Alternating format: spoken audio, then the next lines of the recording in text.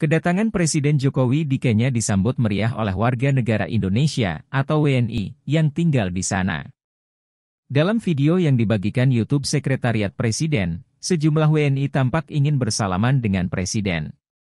Saking antusiasnya, pasukan pengamanan Presiden, Pas Pampres, Kenya sampai kewalahan menjaga Jokowi. Mereka terlihat menahan tubuhnya agar para WNI tak menerobos pengamanan. Presiden Jokowi pun membalas sambutan hangat itu dengan bersalaman dengan WNI. Sebelumnya, Presiden tiba di Bandara Internasional Jomo Kenyatta Nairobi, Kenya pada Minggu, 20 Agustus 2023, pukul 15 lebih 15 waktu setempat.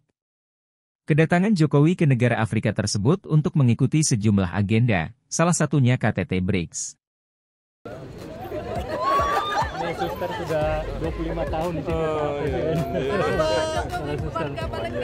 Bapak Jokowi sehat-sehat Bapak. Sehat semuanya, terima kasih. Terima kasih sudah nonton. Jangan lupa like, subscribe, dan share ya.